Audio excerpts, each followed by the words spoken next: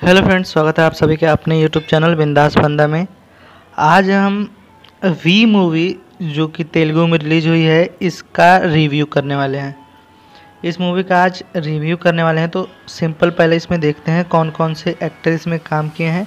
तो इसमें सुधीर बाबू, नानी और नवीना थॉमस जैसे कलाकार इसमें काम किए हैं। अब इस मूवी के स्टोरी लाइन के बारे में बात करें। ये मूवी स्टार्ट होती है एक मर्डर से जो मर्डर नानी ने किया होता है और ये डायरेक्टली सुधीर बाबू को चैलेंज करते हैं कुछ क्लूज देके ताकि वो उन्हें ढूंढ पाए। तो ये एक मर्डर मिस्ट्री मूवी है। अब यहीं नवीना थॉमस के बारे में बात करें तो वो क्या कर रही हैं? एक नावल लिख रही हैं जो कि एक मर्डर मिस्ट्री नावल है तो वो सुधीर बाबू के साथ काम कर रही हैं इस मूवी में। ये मूवी सीरियल किलिंग के आसपास ये घूमती रहती है पूरी मूवी। इसमें एक विलन है, यानी एक कोई व्यक्ति है जो क्या करता है, एक सिटी में क्या करता है, सीरियल किलिंग करना स्टार्ट करता है, जिसके बारे में सुधीर बाबू जो एक पुलिस का किरदार निभा रहे हैं, वो उसके बारे में इन्वेस्टिगेशन स्टार्ट करते हैं। आगे वैसे ही एक पुलिस और चोर के बीच में जैसे होता है कहानी वैसे ही घूमती रहती है। कई बार क्या होता है कि विलन सामने होता है, पर देख नहीं पाते हैं, और इसी तरह ये कहानी आगे बढ़ती जाती है। इसके अगर कुछ गुड्स पॉइंट्स के बारे में बात करें, जो अच्छे पॉइंट्स हैं, इसमें जो नानी का कैरेक्टर है बहुत पावरफुल कैरेक्टर है। इस मूवी में आप अगर नानी के फ़ैन हैं तो ये मूवी आप देख के एब्सोल्युटली बहुत ज़्यादा खुश हो जाएँगे। और साथ ही साथ अगर इस मूवी के एक्शन के बारे में बात करें तो एक्शन सीन बहुत ज़बरदस्त हैं, देखने में बिल्कुल मज़ा आ जाएगा आपको।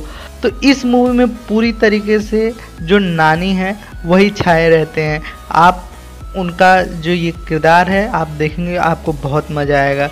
तो एक तरह से कहा जाए तो इस पूरी मूवी में का, जो जान है, वो नानी है। इस मूवी में आपको बहुत ट्विस्ट एंड टर्न्स देखने को मिलने वाले हैं। साथ ही इस मूवी में कई जगह आपको थोड़ी बहुत कॉमेडी सीन्स भी देखने को मिलने वाले हैं थोड़े बहुत, और वहाँ पे लिटरली आपको हँसी भी ज़रूर आएगा। कई जगह जहाँ म्यूज़िक की अगर बात करें तो कई जगह जहाँ एंट्री है, सुधीर बाबू या नानी की, वहाँ पे एंट्री पे बैकग्राउंड म्यूज़िक बहुत दमदार है तो ये भी उसका एक प्लस पॉइंट है।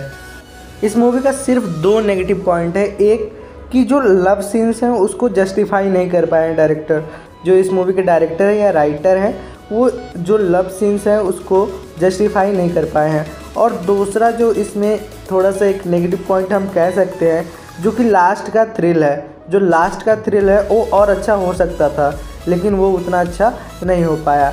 अब इस मूवी के बारे में मैं बताऊँ कि आप कहाँ देख सकते हैं तो ये मूवी अमेज़ॉन प्राइम पे अवेलेबल है। तो आप इस मूवी को अमेज़ॉन प्राइम पे तेलुगु लैंग्वेज में इंग्लिश सब के साथ देख सकते हैं। अब इसके हिंदी डब राइट के बारे में बात करें।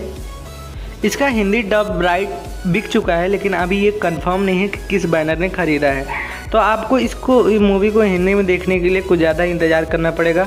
अगर आप चाहते हैं कि इंतज़ार ना करें तो आप ये मूवी जाके अमेज़ॉन प्राइम पे देख सकते हैं।